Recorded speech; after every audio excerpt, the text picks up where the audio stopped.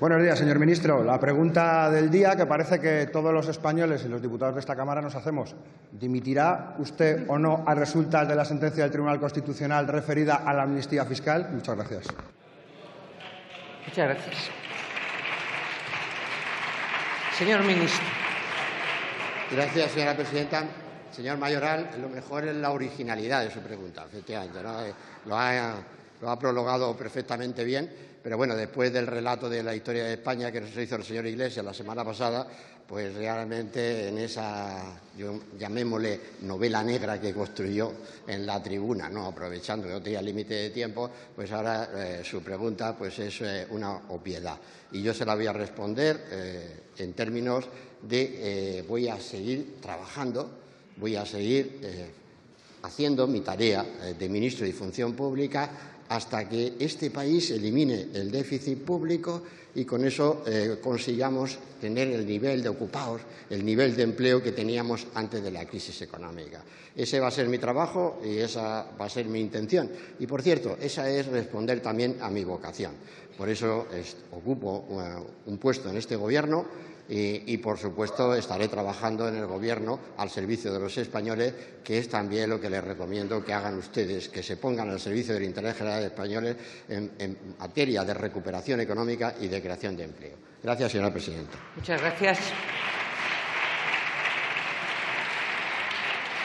Señor Mayoral, adelante.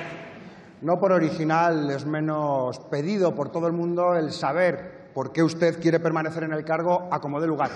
Y en cuanto a trabajar, yo creo que poco a poco vamos viendo ya con claridad, cuando ustedes tenían dudas que nosotros les señalábamos como los responsables de trabajar para las élites frente al pueblo, quizás ahora podemos ver materialmente que esto ya trasciende incluso lo ideológico. De lo que estamos hablando es de trabajar a favor de los defraudadores. De lo que estamos hablando es de que este Gobierno trabaja para proteger al fraude, mientras durante los años más duros de la crisis se han ensañado con los sectores populares, con los autónomos que iban a la quiebra después de ser estrangulados por los bancos, con los trabajadores que perdían su empleo y no podían pagar sus obligaciones, con esos toda la contundencia y todo el ensañamiento. Pero cuando llegaba el momento de los banqueros, del sector financiero, de los defraudadores, de los que tenían el dinero en los paraísos fiscales, ahí estaba el Gobierno para rescatarles, sin perder ni un instante. Y por eso nosotros decimos que ustedes son un Gobierno que trabaja, sí, trabajan ustedes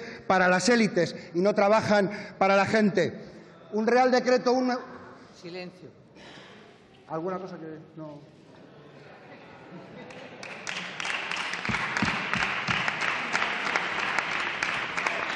Mire, señor ministro, nosotros la verdad que no nos conformamos con que dimita usted. Sabe que nosotros lo que realmente queremos es que se vaya su gobierno. Pero creemos que tiene usted una buena oportunidad de dar cierta decencia a la cuestión de la responsabilidad política. Usted ha sufrido un varaparo en el Tribunal Constitucional. Desgraciadamente, el Tribunal Constitucional llega tarde y no vamos a poder reclamar ese dinero. Pero yo lo que le digo simplemente es que hable con el señor Soria y el señor Soria le podrá explicar que dimitir no es un nombre ruso. Gracias.